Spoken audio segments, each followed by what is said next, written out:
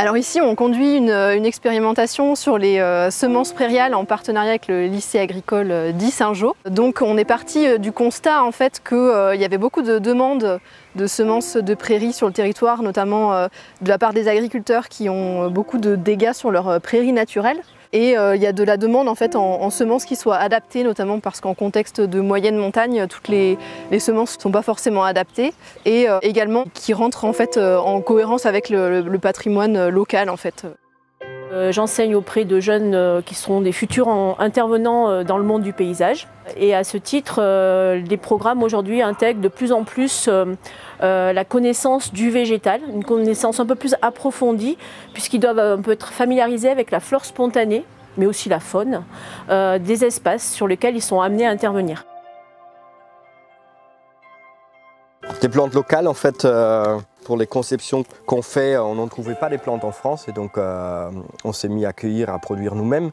Euh, pour plusieurs raisons, c'est des plantes qui ont une résilience vis-à-vis à des aléas climatiques euh, qui n'ont pas subi une, sélection horticole. C'est des plantes qui sont, ont leur place dans ce rouage fin de, pollinisateurs, d'insectes, voilà, qui sont originaires du territoire, donc qui ont une valeur un intérêt plus important hein, euh, pour, toute cette protection de la, et maintien de la biodiversité et des pollinisateurs. Et en plus, c'est des plantes qui, euh, qui sont très belles aussi. En attendant que la haie en contrebas de la parcelle se développe et puisse atteindre une hauteur suffisante pour jouer son rôle de brise-vent, on a installé une seconde haie qui est entre deux zones de culture, qui est constituée de quatre espèces qui peuvent être OCP. Donc si elle est amenée à être trop grande, ou trop développée et qu'elle fasse de l'ombrage euh, aux cultures, on peut la rabattre et elle repartira l'année suivante. Une des premières étapes euh, de la production de végétaux sauvages et locaux, c'est la récolte euh, de fruits en milieu naturel. Donc on va récolter des fruits sur des espèces indigènes, c'est-à-dire des espèces qui sont naturellement présentes sur notre territoire. Là, je suis en train de ramasser euh, du, du, troène. On peut le reconnaître avec euh, ces petites boules noires qui sont ses fruits. Les fruits ils vont nous permettre euh, de produire d'autres arbres et arbustes qui seront replantés par d'autres élèves. Les fruits qui ont été récoltés en milieu naturel vont être replantés dans la même région d'origine. Aujourd'hui, on va vous parler un petit peu de tout ce qui est l'étape qui va se passer dans les serres ou dans un local, extraction des graines, stratification des graines, mise euh, en germination, semis et repiquage.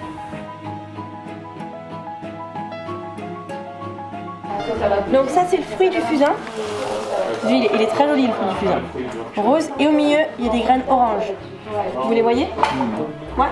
Donc ça pour les préparer, qu'est-ce qu'on va faire? On va ouvrir le fruit et récupérer le fusain. Oh, c'est une fleur, on dirait. C'est ça, parce que c'est très coloré. On ne va pas seulement récolter des graines, euh, on fait aussi de l'identification des végétaux. Euh, on apprend aussi euh, les méthodes pour récolter ces graines de manière respectueuse. On est élève en BTS production horticole à Montravel et pendant notre formation, on va apprendre le végétal local. Quand on fait le choix de végétaux locaux avec euh, le lycée Montravel, on fait appel aux pépinières locales qui produisent du végétal local. Nous, on va faire les commandes auprès d'eux avec le carrier. Et le but, c'est de faire euh, un choix où eux aussi viennent nous proposer des végétaux euh, pour s'adapter au milieu, ce qui est très difficile. Et après, ils sont aussi de bons conseils pour nous accompagner dans notre choix de végétaux. Dès le début, les acteurs agroforestiers comme nous on s'est tout de suite intéressé à cette question de diversité génétique, d'adaptation de nos plantations au climat et au terroir de chaque endroit où on plante. Donc naturellement, on a été euh, intéressé par cette marque et avoir envie de travailler ensuite avec un réseau de professionnels sur ce sujet-là.